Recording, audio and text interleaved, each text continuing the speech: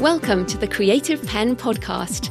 I'm Joanna Penn, thriller author and creative entrepreneur, bringing you interviews, inspiration, and information on writing, publishing options, and marketing ideas for your book. You can find the episode show notes, your free author blueprint, and lots more information at thecreativepenn.com. And that's pen with a double N. And here's the show. Hello, creatives. I'm Joanna Penn, and this is episode number 452 of the podcast. And it's Friday, 27th of September, 2019.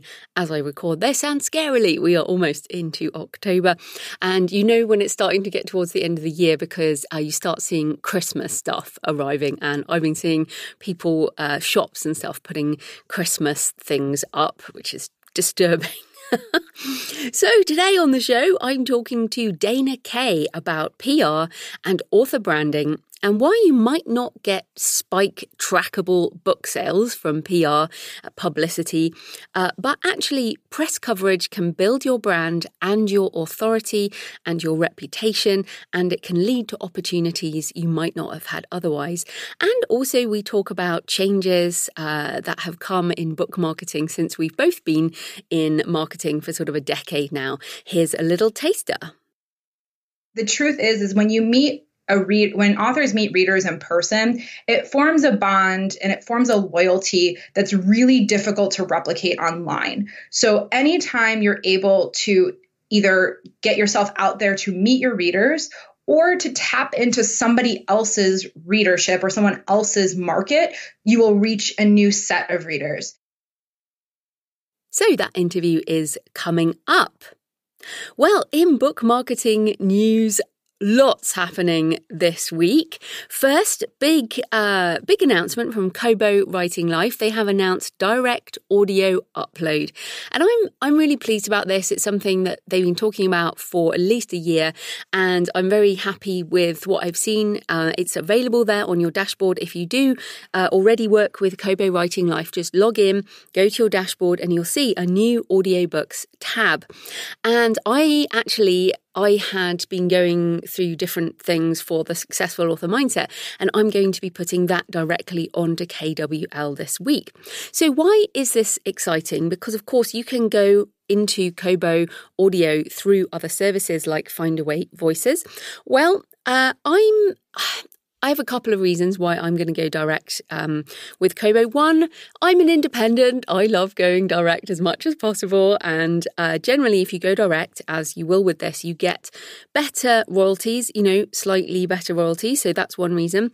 Two, uh, you will be able to reach potentially other markets that Kobo does um, things with. So what they what Kobo's business model is, and it's very smart, I think, is they do partnerships with companies that don't want to work with Amazon. so for example, Walmart.com in the US has audiobooks from Kobo in their stores. You can buy little downloadable cards and things, which is very cool. Uh, Overdrive is a, co- sister company to Kobo, owned both owned by Rakuten, Japanese e-commerce company. And again, yes, you can get to many of these opportunities through Findaway, but one of the things you will get is pre-orders, which is cool and multi currency pricing. Now, I think this is a huge deal because at the moment, well, you can't set your price on ACX, but you can set your price on Findaway, but only in US dollars. And so this to me is a true global wide audiobook solution. You have to have pricing in multi currency if you're going to compete in other markets, um, because many currencies, if you just translate them directly from US dollars, they are out of reach of listeners in that market. So that's another reason. Also, they will be developing a promotional tab, hopefully separate tab or within the same promotions tab, uh, promotions for audiobooks. And uh, I think long term, as you know, about these things. So I'm excited. I will, so I guess from now on, I will be using ACX plus KWL audio plus Findaway voices uh, for going wide with audio. Things change very quickly around here, don't they? so that's one. Secondly, uh, Vellum, a lot of people are going, oh no, what's happened? Basically, Vellum has uh, shifted their formatting to produce a Kindle specific EPUB file instead of a Mobi. And uh, technically you don't need to worry too much about this stuff. You can still upload anything from Vellum to um, Amazon and to the other stores with normal EPUB. But uh, if you use if you want to give books to your readers, many people are confused because, of course, we've been using Mobis for, again, a decade. Uh, so, what is really interesting is that uh, BookFunnel have announced that they can change a vellum Kindle EPUB to a Mobi. So I'm in a bundle this month. I'll come back to that later and very happy to um, be using BookFunnel to change my Vellum files into Mobi. As ever, if that sounds too techy for you, don't worry about it. You probably don't use it anyway. but for those of you who do, uh, that will be useful. Again, links in the show notes. And thanks as ever to BookFunnel for being a very useful company and to Vellum for keeping up with changes in tech. And that's some of the reasons they have made that change. Right, futurist segment this week. I was just giddy with excitement this week because there, uh, basically, Amazon uh, did a big tech event and announced a whole load of stuff for Alexa. But one of the things they announced, and this is huge if you have been following my AI developments, I really didn't think this would happen so soon, but it has happened. Samuel L. Jackson, yes, very cool. Samuel L. Jackson is now available on Alexa for you to interact with. And this will be a paid Alexa skill of some kind. But it says, and this is quoting from The Guardian the Jackson feature will allow users of Alexa enabled devices to interact with an AI version of the actor developed using the company's neural text to speech technology.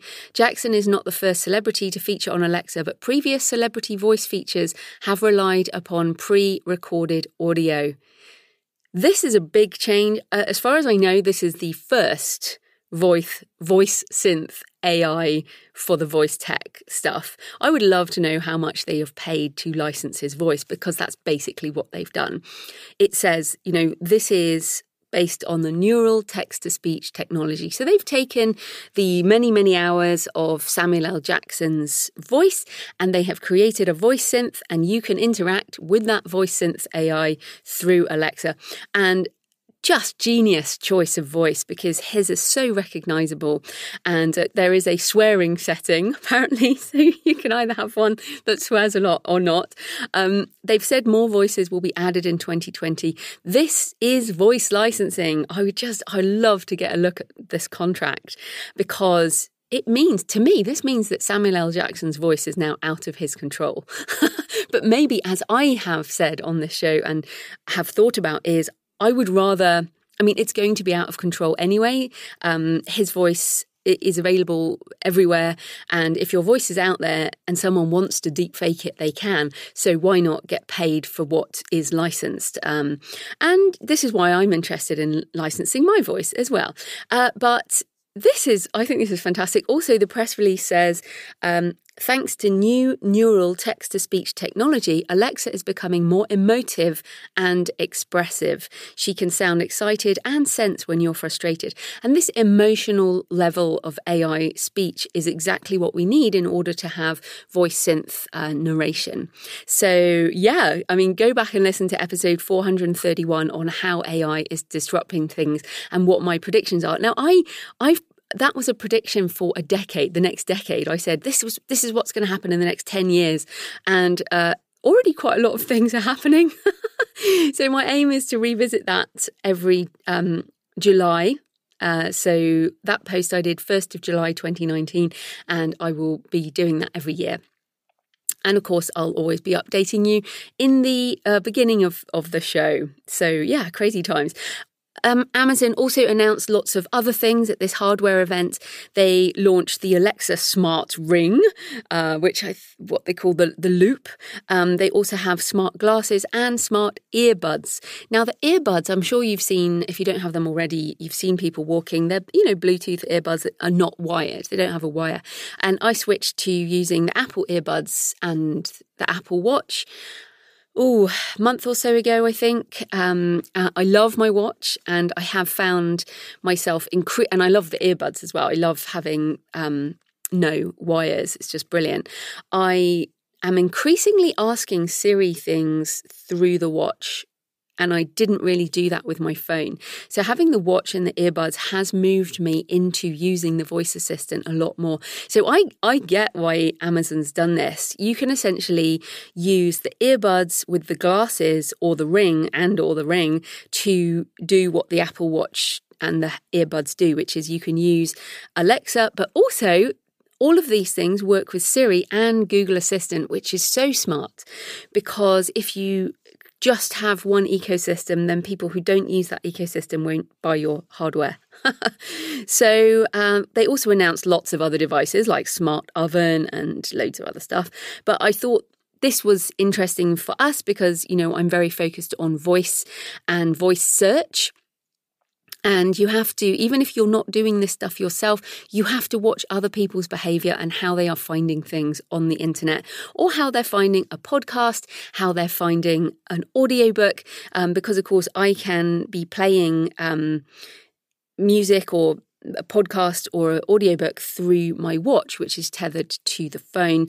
Um, and I, I, also pay with my Apple Watch as well now. So I don't have to get out my phone, which is has been a real shift in my behavior. So I'm kind of using the watch and the earbuds as opposed to the phone. It's a it's a screenless relationship.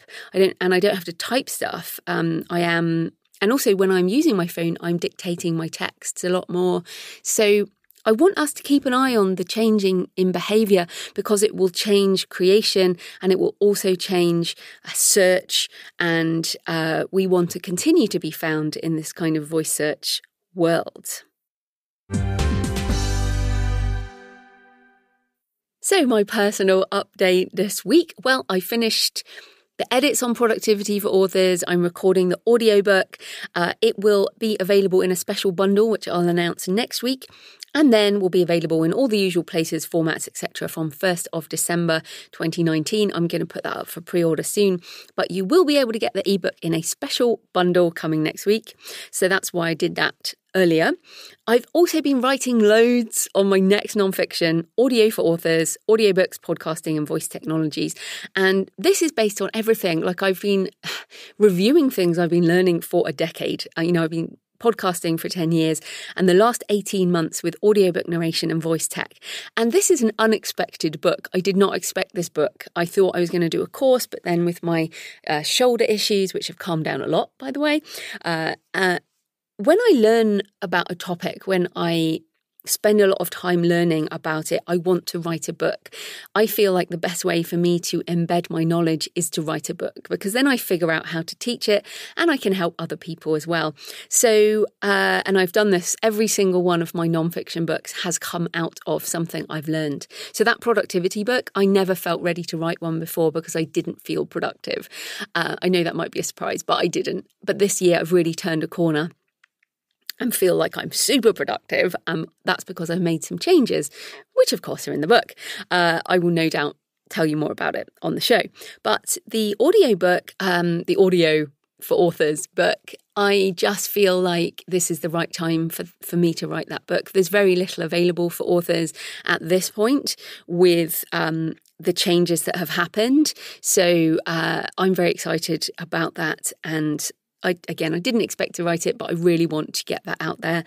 And this week I have a launch. So as this goes out, uh, public speaking for authors, creatives, and other introverts, the second edition is out in ebook, paperback, large print, hardback, and audiobook, narrated by me. And uh, that's launching 1st of October 2019. And it will be everywhere, all the usual places. You should also be able to request it through your library or your local bookstore if you want to support independence. And uh, of course, if you do try and order stuff in places and they can't get it, let me know. Uh, so, again, sort of circling back on why I write nonfiction, I wrote that book, the first edition, when I, you know, was starting to be paid for public speaking, and I really wanted to embed everything I'd learned about public speaking. and rewriting it and updating it was was very worthwhile. I, I feel the book is needed now more than ever. And a lot of the principles feed into the audiobook as well, because if you learn to do public speaking, it will really help with doing podcasting and, and other things. So, uh, just to let you know, uh, if you are trying to decide whether public speaking is for you, I'm in the book. so, are you an author or creative preparing for success? I hope so. Do you want to learn to speak effectively in front of an audience, whether that is um, yeah, I mean, all successful creatives have to speak and present in public. It might be a festival, a podcast, a radio show, uh, or as part of earning another stream of income. But of course, you don't have to be like Tony Robbins, bouncing around and booming and being larger than life. You just have to be you and tell your story in your own way. So, in this book, I share everything I know as a professional speaker, author, and introvert. It includes the practicalities of speaking as well as the mindset issues like anxiety and fear of it and how to deal with that, plus the business side if you want to make money with uh, speaking. So you can find the book in all the usual places or all the links at thecreativepenn.com forward slash speaking book. So, useful stuff. I am very excited about this. I can't tell you how excited I am, or I guess I'm about to tell you. but I want you to think about what are the top 10 books for writers about story structure and story design. Who do you think of in that category? Now, of course, uh, Robert McKee's story is probably there. The Story Grid by Shawn Coyne, maybe Save the Cat and some of the other structural books. But definitely in that top 10 will be The Anatomy of Story 22 Steps to Becoming a Master Storyteller by John Truby. And I have the paperback, it's well thumbed, and I also have it in ebook, and I've highlighted that and I've read it several times. It is a Bible for story creators in the novel format and also for screenwriters. Uh, John Truby is referenced by so many people and uh, he is a real expert at story structure. So I am more than excited to announce that John is going to do a webinar for the Creative Penn audience. And uh, I was like, oh, I'm very excited about this. Um, so I'm definitely going to be there. I will be taking a lot of notes and I will hope you're going to join me. So the topic is going to be story for money. And John has developed this webinar. Uh, he's going to share the first rule of writing a best selling novel, plus share one of his favorite techniques that can make or destroy a novel, and also the one thing that will immediately get a reader to want to binge read your whole series. Uh, John has forgotten more about story structure than the rest of us. have learned. So you can come to truby.com, T R U B Y.com forward slash penn, P E N M, and you will be able to sign up. The webinar will be on Thursday, 10th of October 2019, 12 noon Pacific, 3 pm Eastern, 8 pm UK. And of course, if you can't make it live, register anyway and you will get the replay within 24 hours of the event. Sign up for your free place at truby.com, T R uby.com forward slash penn, P E N N. Links in the show notes. So, yeah, I, I am excited. And I'm going to send an email out. Hopefully, you're on my list and everything. And because yeah, I'm excited about this. I've done lots of webinars over the years, mostly for book marketing things, and I, I don't even know if I've ever done one on craft. So this is this is super exciting. Yes, 10th of October anyway, truby.com forward slash penn. So thanks for all your emails and tweets this week. Uh, Jonelle Serra says, I always like the podcast, but this one hit home more than usual. Uh, a retreat leader writer was the interview I needed uh, with Jen Louden. Fantastic.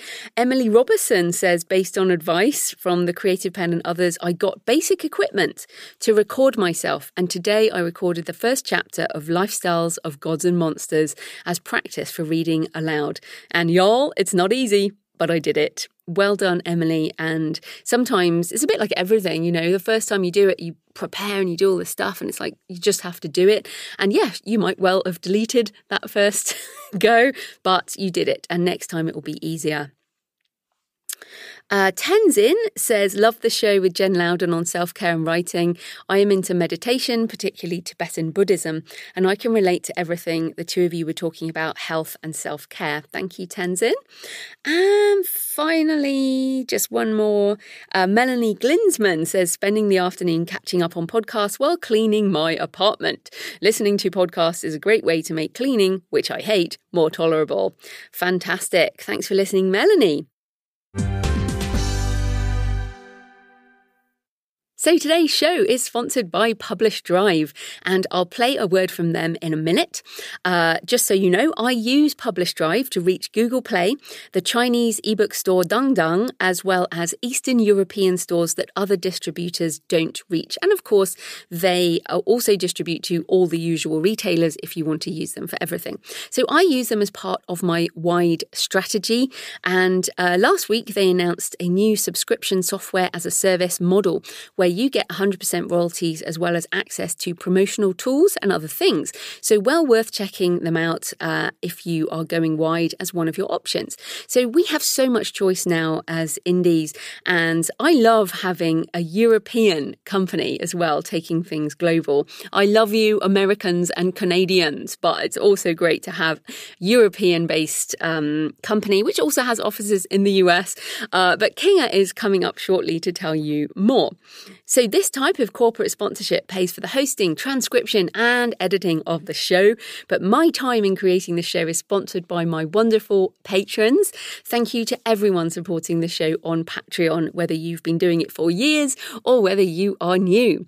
So, thanks to new patrons Liz Pearson Mann, Maria, Claire, Arinetta, Pamela Cook, Heather Hollick, and Joni Jeffries.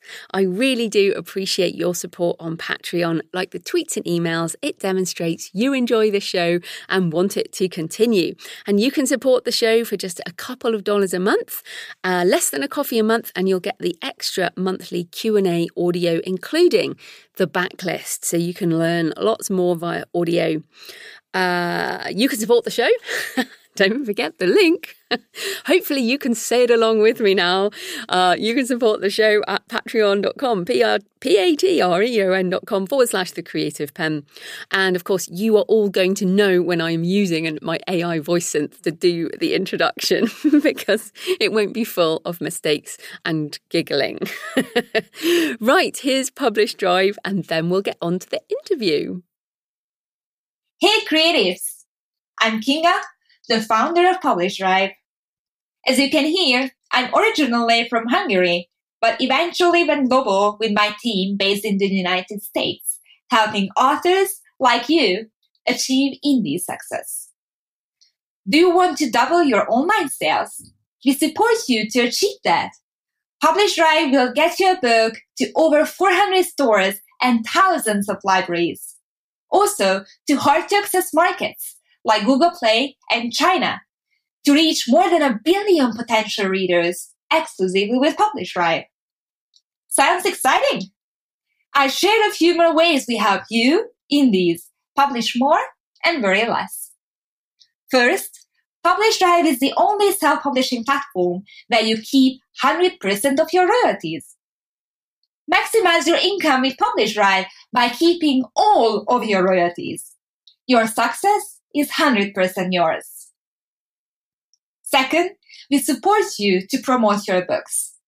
We develop tools around book promotions to boost your sales in stores. Also, we make publishing easy for you so you can convert ebooks for free, track sales with cool analytics, and split royalties with your co-authors. And that's just the tip of the iceberg. And the cool thing? You access all the tools you need in one single dashboard. Sounds too good to be true. Why don't you publish your book for free today? Start collecting 100% of your royalties forever. See why 10,000s of authors are with Publish Drive on publishdrive.com slash penn. Happy publishing!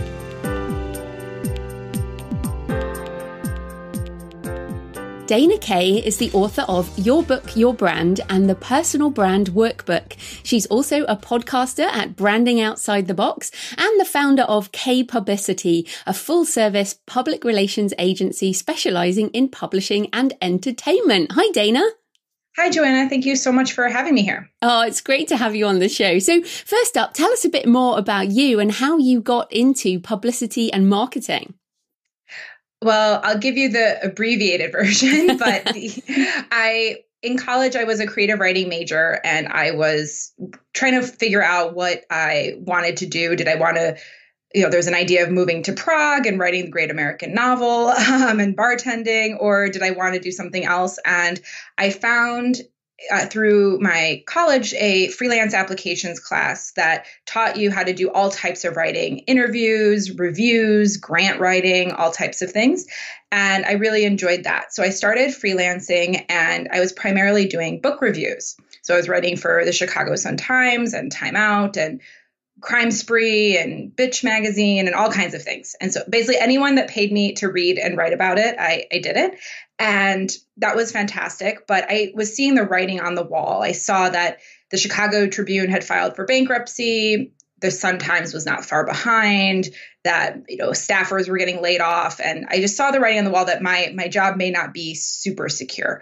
And I gave it some thought about what I really loved about reviewing. Like, why did I like it? And really, what it was is I enjoyed pairing readers with books that they may have never heard of. I reviewed a lot of small press books, and I really wanted to give light to books that were really really good but maybe aren't going to be on the front table of Barnes and Noble or have a huge ad in the New York Times. And so that's what I enjoyed and I thought okay what are the other ways I can do that and of course publicity and marketing came to mind. I you know had been pitched by publicists all the time so I knew how to write a pitch, I knew press materials as a freelancer, I had to pitch my editors. So I knew how to pitch a magazine editor or a newspaper editor. So I thought, okay, publicity, and I knew a lot about social media, so maybe marketing. And I started applying for jobs at the publishers. But publishing is mainly in New York, and I'm a proud Chicagoan. I did not want to move. So I was applying, but not really. Like I wasn't doing a great job. You know, when you're not your heart isn't in something, so you mm. don't do mm. it very well. and so I had been at a writers' conference in my reviewer capacity, and I was speaking with an author, Jamie Freveletti, who's a thriller author, and she, her first book, Running from the Devil, was slated to come out that spring. And she was saying that she was going to hire an outside publicist, an independent publicist. And I said, Oh, I deal with publicists all the time. Make sure that they always follow up, make sure they give you lead time, make sure they don't send packages of glitter, you know, all those. I was giving her all this advice of what she should look for. And finally, she just turns to me and she said, Do you want to do it? Should you just do this? and I said, Maybe. Let's talk about it. And so the, the after the writing conference, and we got breakfast and we just hashed out a plan and said, okay, this is what Harper's do- it was Harper Collins. This is what Harper's doing. Let's see where I can fill in the gaps. And we did a lot of really cool things, and that's what really spurred off the the publicity company. Wow, there's so many things that I want to follow up on. First of all, I got to ask you: Did you end up going to Prague and writing any fiction? um, I did live in Prague. I studied abroad in Prague, and I was writing there. Um, I got a few short stories published over there, and then I was freelancing too. Um, so, I mean, you can write from anywhere. And yeah. although it was very different back, this was in 2005, 2004. So this was, I mean, internet cafes and spotty Wi-Fi at the at the um, pension, and the yeah. So it was a little bit different. So the original plan was to. I was in Prague. I loved it. It was super cheap. They hadn't gone on the euro, um, so everything was just so cheap. And like my, I was like, okay, I'm gonna finish up school. I had one more semester. I came back to finish up school, and I was gonna move back. I had an apartment lined up. I was gonna freelance. You can make a really good life as a freelancer there because they I think my apartment I got was like two hundred dollars a month or something. Mm. Um, and I came back, um, but while I was back in Chicago, I met my wife, and so life took a turn, and I decided not to return to Prague and and see uh, see what happened there. yeah, that's brilliant. I just wanted to follow up on that one. Okay, so um, let's talk about branding because and we're going to i want to come back to the jamie freveletti story a bit later mm-hmm. um, but let's talk about branding first. So you obviously your books um, you know your books are about branding you your podcast is about branding and you talk a lot about it but i feel that many authors don't necessarily get what an author brand is and why it's important. So could you talk a bit about that Absolutely. So you're you're 100% right that there's a lot of confusion and some people think brand is your is your pen name, brand is your logo. It it's really and and those are parts of it, but I think the main foundation of your brand is who you are and what you do. Like that's the essence of a personal brand. For an author brand, it's who you are and what you write. And I think that if we can get clarity on that, it takes the risk out for the reader. So the reason that James Patterson and Nora Roberts and these authors and Lee Child and all so many other household names do so well is because not because of their name necessarily but because of what they deliver in each book. It's a safe bet. You know that reacher is going to blow into town solve some problem maybe get a girl and then blow out of town and be fine. And that feels safe. Uh, with Nora Roberts and her romance novels, like you know that there's going to be obstacles, but they're going to have a happy ending. And so it takes the risk away from the reader. If you're investing four to five hours of your time, if it's a hardcover, 25 bucks, we want to know that we're going to like it. And so by having a really strong author brand and being really clear on who you are and what you write, you're able to convey that to potential readers in a way that makes them feel safe and more inclined to take a essentially a risk when purchasing and reading your book. Right. And what are your thoughts on someone like me who mm-hmm. uses two different brands? Well, I think that you have, we had just talked on my podcast recently about that you have very different audiences, that the audience of writers, authors, aspiring writers is not necessarily the audience for your fiction. And so it's very clear first of all, it's very clear from your books. I know which ones are fiction and which ones are nonfiction without even reading the description. I know from the visuals, the title, the you know the book covers, the website pages, all of that. Like I know which ones are which, and but by targeting a different audience, I think that you're speaking, you're messaging, and you're speaking very clearly to who your audience is. So if you're at a writers conference, you are with your Joanna Penn hat and talking to writers. If you're at a library event or a book festival, you have your JF Penn hat on and you're speaking very differently. So I think it's that it's it's okay to have two different two different lanes, let's say, and just being aware of the audience. I mean, writers, you guys all know, you always all have a sense of audience. You think about your readers when you write. And so having that sense of audience should translate not just in the writing, but also when you're speaking to people about you and your work.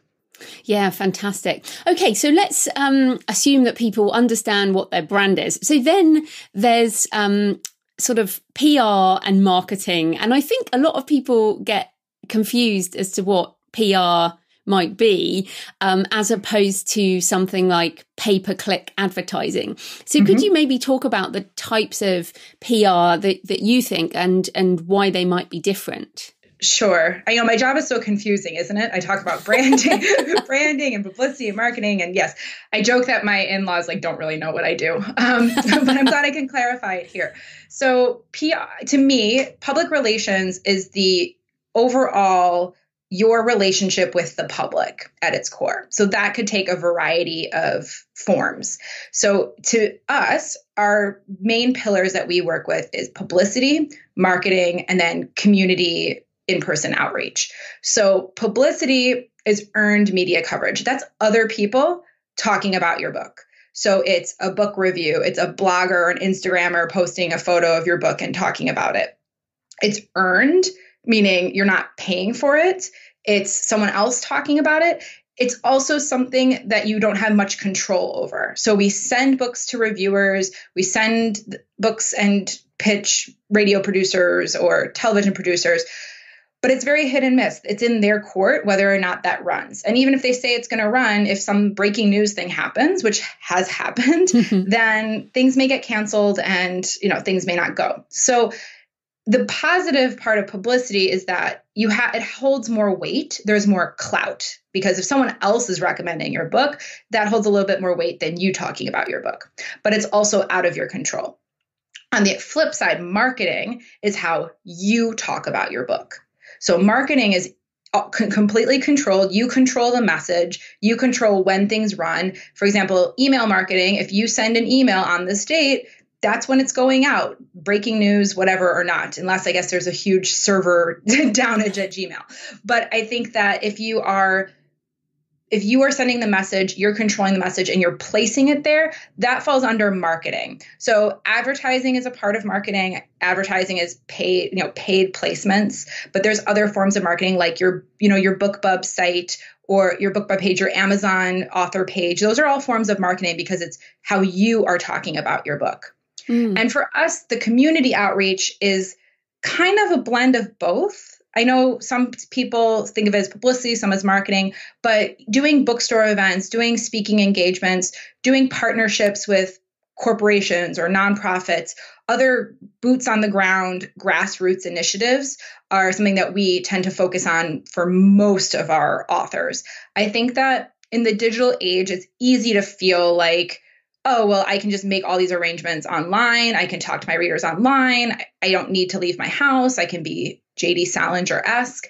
Uh, but the truth is, is when you meet a read when authors meet readers in person, it forms a bond and it forms a loyalty that's really difficult to replicate online. So anytime you're able to either get yourself out there to meet your readers or to tap into somebody else's readership or someone else's market, you will reach a new set of readers. So, some examples of this uh, we work with an author, Gregg Hurwitz, whose main character, Evan Smoak, is a vodka let's say connoisseur. Sometimes I say snob, but vodka snob.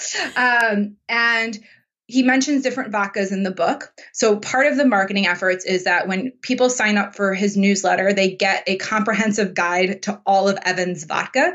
It's what makes it different, where it's from, and where you can get it.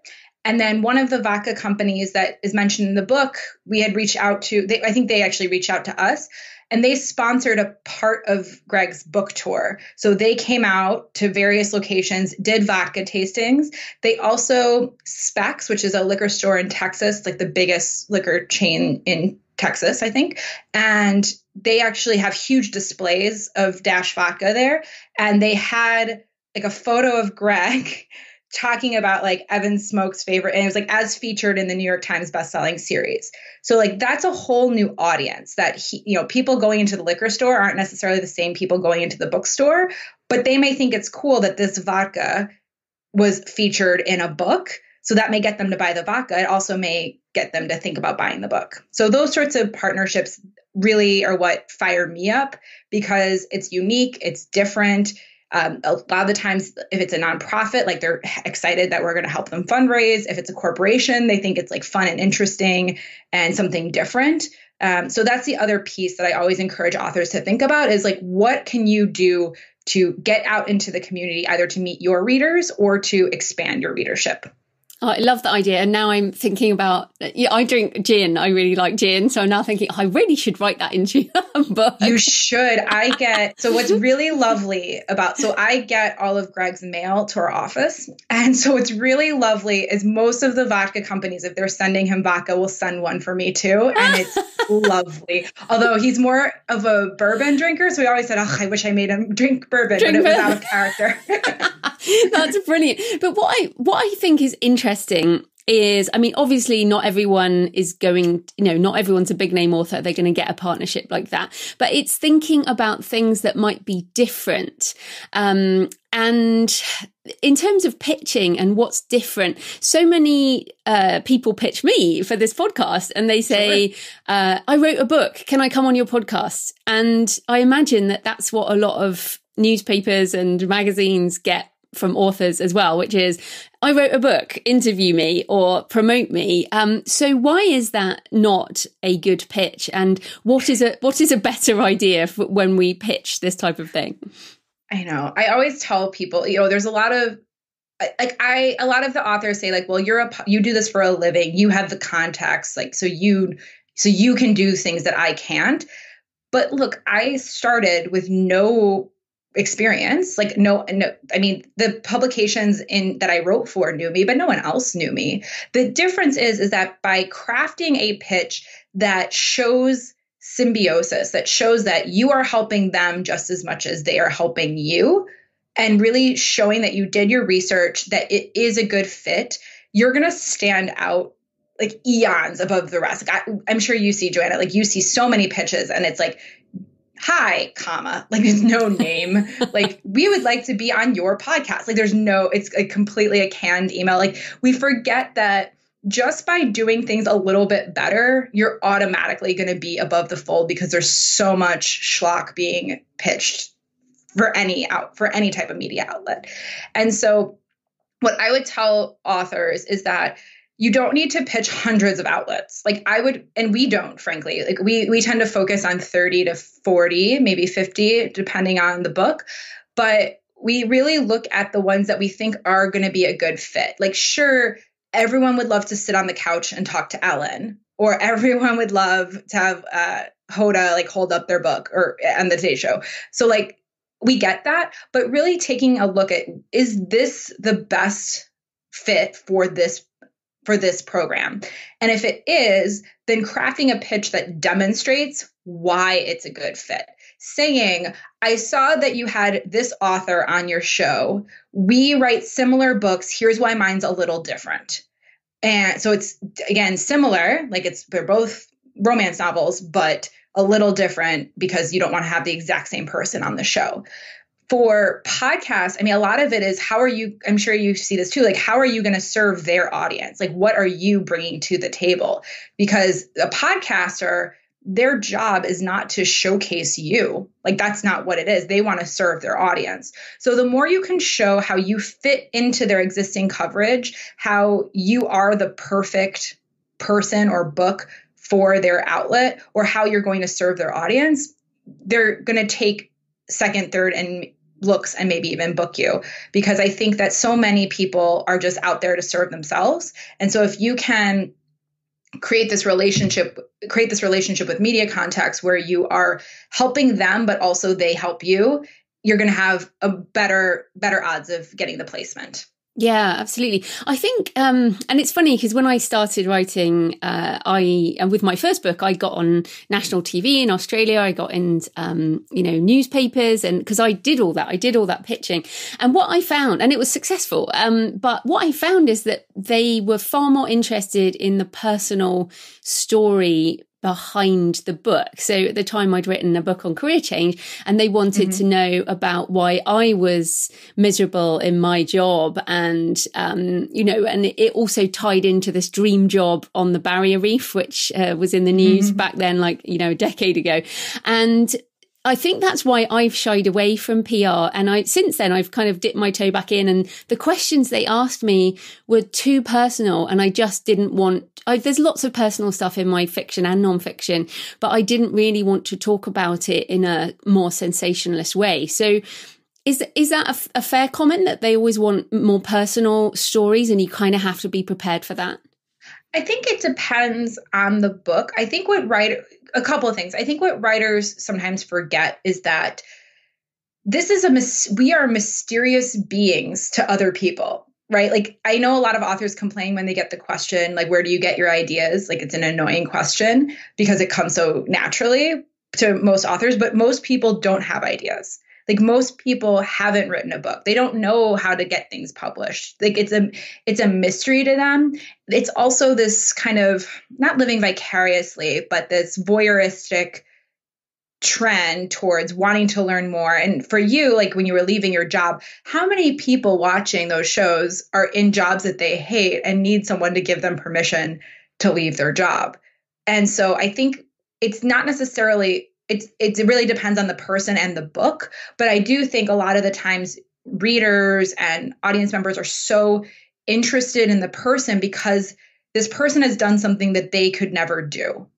I mean it's even why we read. I mean if you think about reading thrillers like i can have a front row seat to explosions and helicopter you know helicopter fights or whatever and I don't have to actually go anywhere. I can travel to various, I can travel to the world and not leave my couch. And so I think it's the same, that same idea of readers want to experience something that they've never experienced. When they talk to authors, it's the same thing. They want to know how they do it because they honestly don't get it. And for authors, you're like, I, I get ideas all the time. It's an annoying question, but other people genuinely don't know. They find it really interesting. Mm-hmm. I think that if you're pitching something and you don't want to talk about personal stuff, I think it's really framed in the pitch. So sometimes what will happen is authors will just send their bio and then the public the radio person, the producer or the journalist will see something in the bio that they'll pick out. So I also think that if you are done talking about something, then you need to stop talking about it from your marketing as well. So I talked to um, an author recently who's a cop and he writes a cop series. And he says, I'm really sick of talking about cop stuff. Like, I really am done. and I said, Well, why are you keep writing cop books? like, it makes him was, money.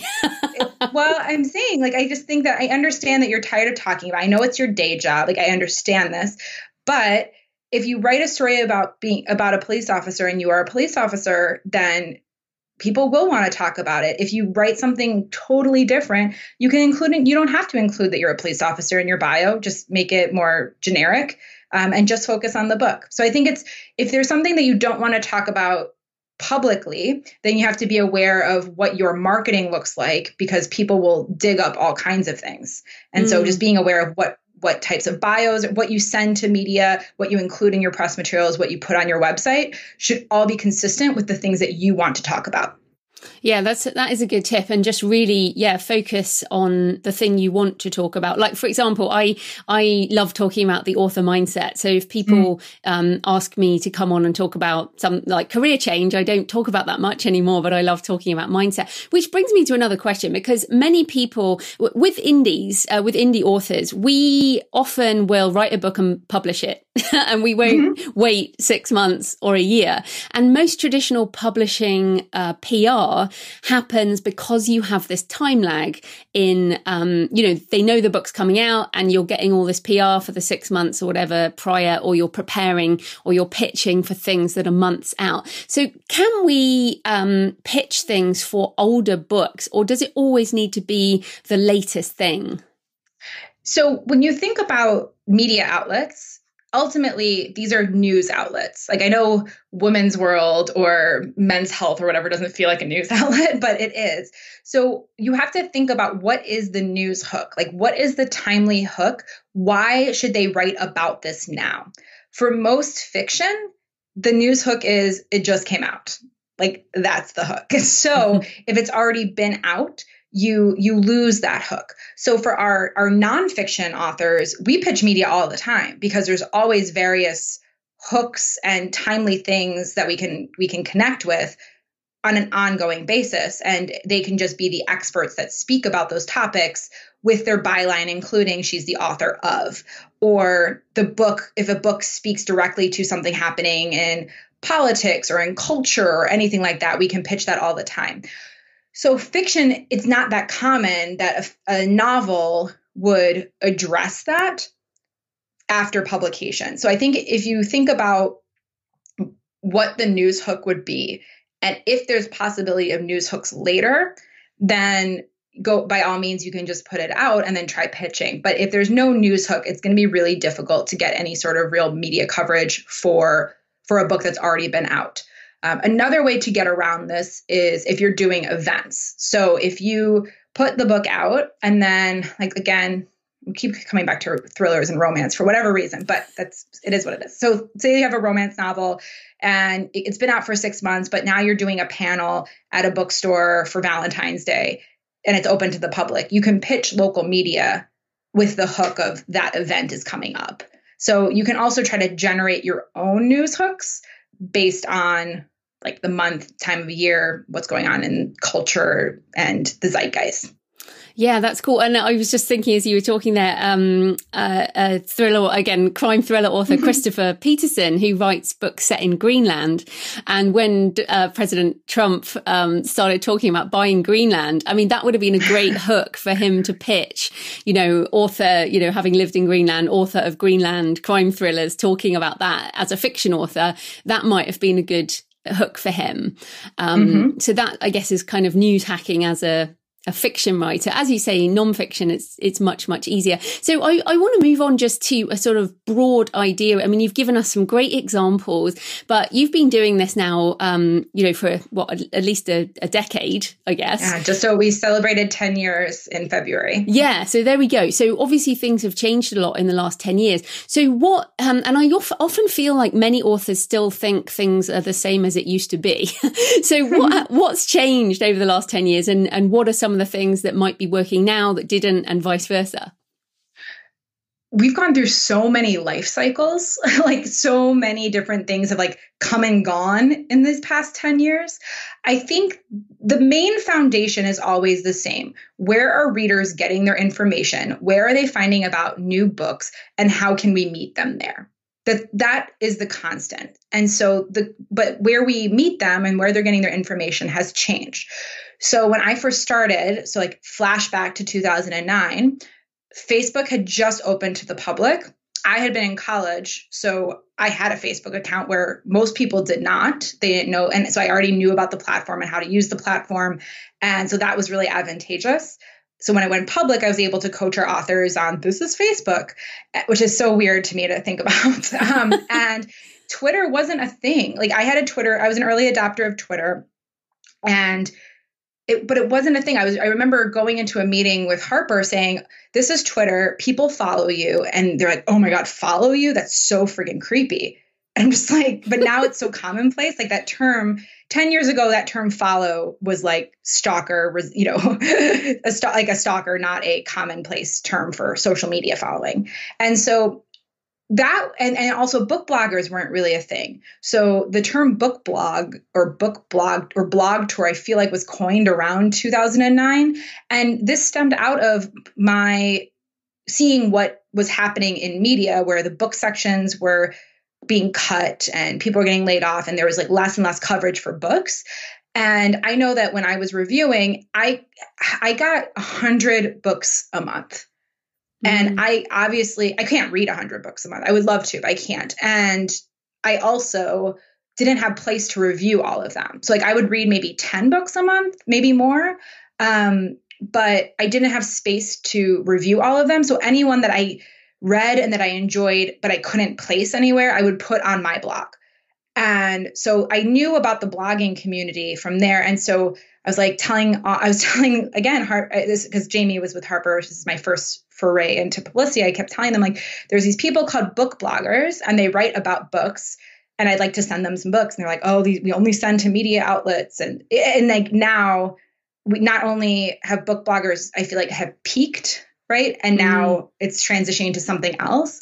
Um, but then it became like blog tours. It became commonplace to send to bo- bloggers, and now it's even saturated, and the blog market is dec- in decline. And so now things are getting moving more towards podcasting, YouTube, social media, that sort of thing. So now we're shifting more of our focus towards books, podcasts, inst- bookstagrammers, booktubers, all those sorts of people um, more so than bloggers. Most of them have a blog. It's just the traffic isn't coming from there.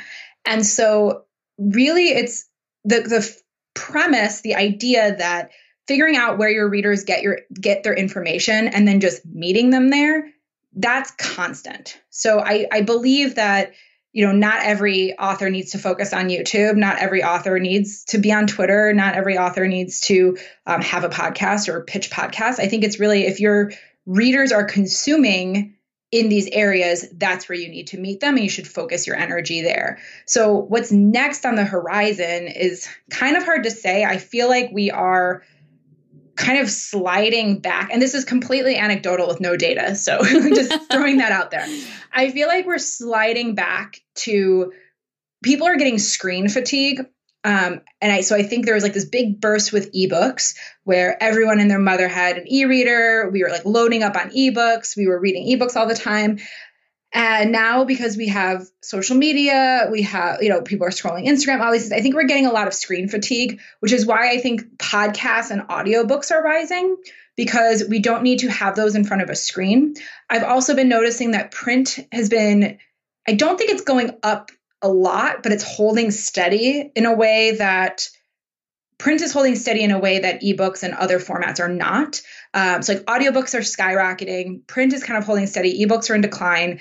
And so I think that, and I've also noticed that there's been a slew of magazines popping up, mm. and I've seen more people reading like print magazines, um, myself included. Like I have a whole basket down uh, in our living room of like the you know the magazines I need to catch up on. But um, because I don't want to read screens at night, and I think people are becoming more attuned to not wanting to look at screens at night. And so if you don't want to look at a screen, how are you going to read? Well, it's going to be in either print or in your e-ink. And so I, I I think we're going more towards that analog. I think people are shifting that way towards getting offline not offline necessarily because podcasts are online but not looking at screens. So i think my gut is telling me that you know focusing more on podcasts pitching podcasts um, and like we discussed earlier that a lot of people are doing youtube audio only. And so like even if you are don't want to do youtube like you could at least put your podcast up or snippets of your audiobook on YouTube just for listening as a sample, because um, a lot of people do listen only to YouTube. Um, so that's that's my think where the trend is going is more towards p- things that are not on screen. Yeah, totally. And it's so funny because in the last week, um, my mum, who's 72, has got her first smartphone. Like she's had one of those burner phones at like $7. um, I'm like, mum, you know, only terrorists use these burner phones. I mean, it's very. terrorists and, uh, terrorists and the um, older, gen- and the, what is it, the greatest generation or whatever. yeah. I mean, she, and it's so funny because I said to my husband, okay, my mum has got a smartphone and Spotify. That means this has gone mainstream because she, she was like the last person to get a Kindle. And when she got a Kindle, I was like, okay, ebooks have, have hit the mainstream. And now I'm like, okay, Spotify, listening to music and podcasts on Spotify is, is a thing, you know, even mm-hmm. for people in, in their seventies. So this is, this is fascinating. It's definitely a change. So now I want to circle back. So you talked about Jamie Freveletti, who I've met at Thriller Fest. She's, you know, wonderful author. Um, and so she had a traditional publishing deal and many authors, you know, do who have publicists. But you talk there about saying that she had a publicist with her publisher, but she also wanted to use an independent uh, PR. So for you, mm-hmm. um, to use you. So I think this is interesting because so many indie authors say, "Oh, you know, I'm I'm I like being indie, but I don't want to do the marketing. So I'd like to get a traditional publishing deal because then they will do the marketing. So how, mm-hmm. how, tr- like, where's the balance between an author getting a trad deal? Like, how much marketing and what kinds of marketing do they do versus what the author still needs to do? Yeah, I, I, hear this a lot too. Like they think that if they get a traditional deal, that they can just again be the J.D. Salinger esque and pull up in their house and write books and do nothing else. I, it's not true. I think that if look, if you're getting a seven figure deal, your publisher is going to do some stuff. If you're getting a six figure, five figure, or four figure, it's really hit and miss. Let's not focus though right now on like what they do, but also why you would want to hire an outside publicist anyway is that the publishers work the your in-house publicist doesn't work for you. They work for the publisher. Again going back to that control thing you have no control over what they do. Like they can decide you know we, we had uh, we've had books where you know the the they are so they're so jazzed. We're like, we're going to do all this stuff for the book. We're so excited. And then Barnes and Noble doesn't make a good buy. And then they start crunching numbers and they're like, oh, there's no way we, this book will be successful. Let's just cut and run. And then like nothing gets done. Um, publicists leave. I mean, like New York publicists, I believe the starting salary is $24,000 a year in New York. and so they're like, they're overworked, they're underpaid, there is lots of churn. And so you know, I, we've had multiple authors who have book who have in-house publicists who leave the company. There's no loyalty. They're, they leave a month before the person's book comes out. Editors too, and they're at a loss. And so by hiring your own team, so by having an agent who to manage your career and by having an outside publicist, you're able to take more control and have some consistency with all of your publicity and marketing. You also have the ability, you know, to say I kind of want to do this and have ideas and a public an outside publicist can do that whereas an in-house person is beholden to their budget. So that's what I would think about is that if you're with a traditional publisher that they're not loyal to you, they're not even probably loyal to their company. The individuals are not loyal to their company. So you have to think about building your team with people who are loyal to you. So if you're an indie author, which you love, I assume most indie authors love having the control. That's why you mm-hmm. go indie. and so the, by building out your team, you're able to have take that control and just build that that team for yourself. The thing with traditional publishers is that there are some things that I and indies authors cannot penetrate.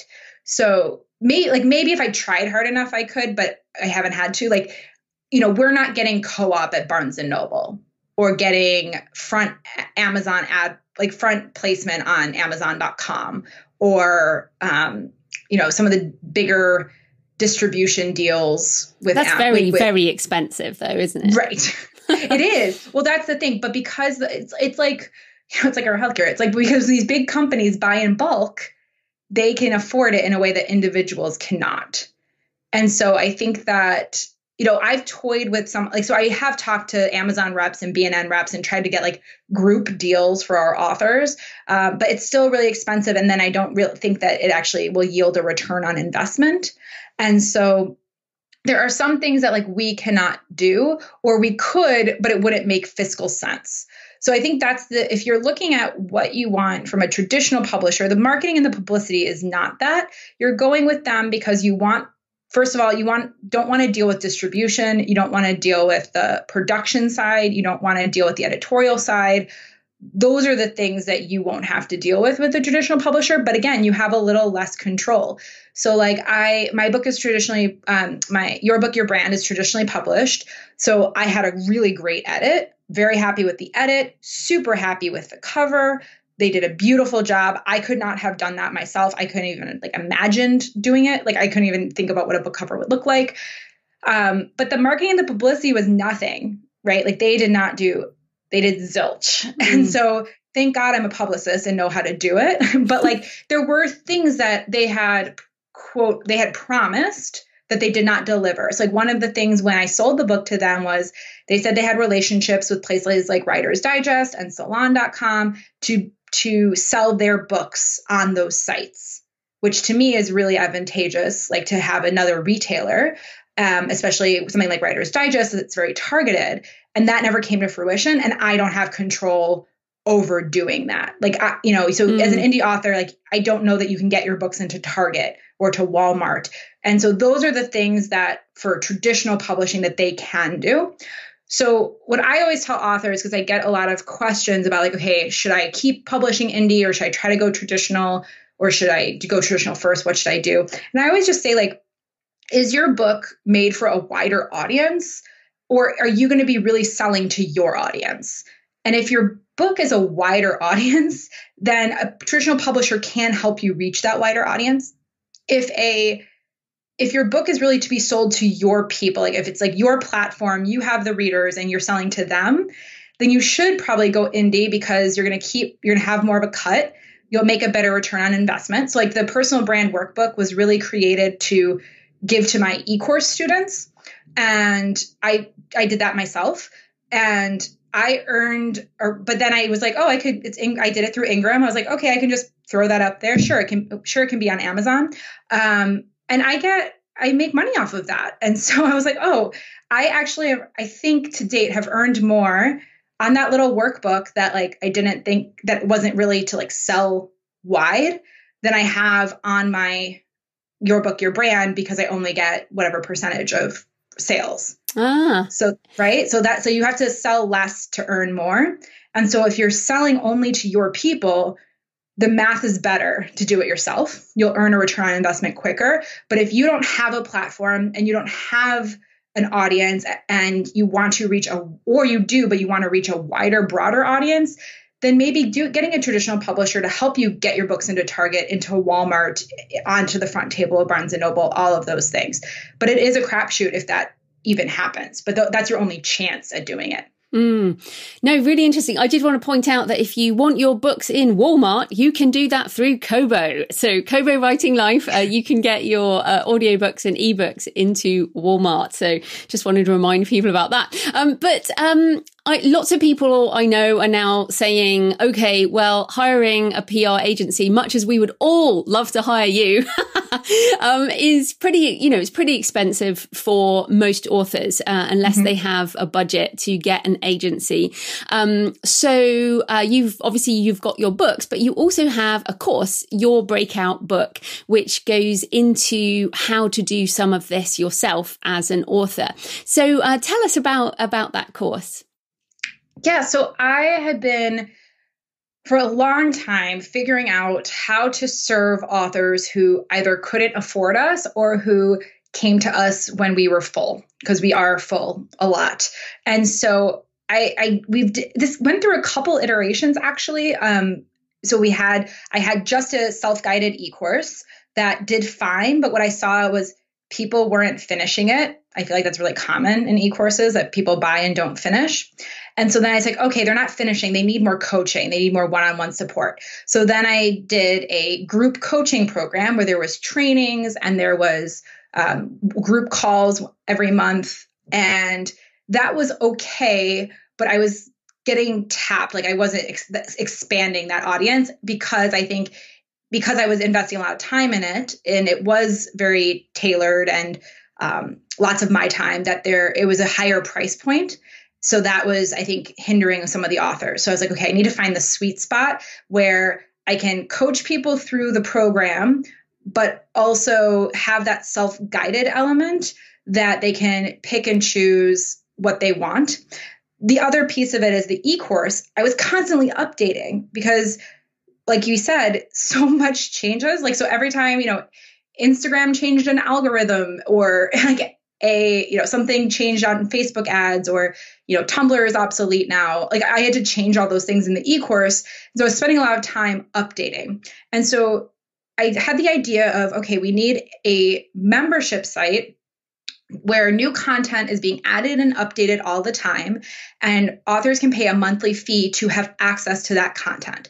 So it is completely self guided, although there is a live training each month. So, a lot of the author, so we usually get about half of the participants on the live training because they want the Q&A, but most people just watch the video afterwards. I think a lot of authors just really want to do it on their own or you know watch and learn maybe at night or you know power through all the modules on the weekends so we have a, a live training every month and the community picks the live training. So I, I get emails from people, I put I post a poll and people pick what they want to learn about. So it's very author driven.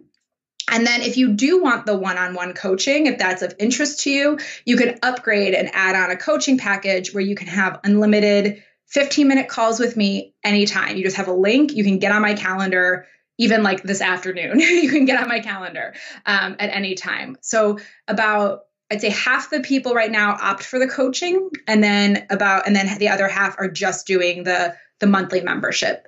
And it's been really great to see that the other piece of the coaching the former iterations of this is PR takes time. Like this takes time. And also not everyone can work at the same pace.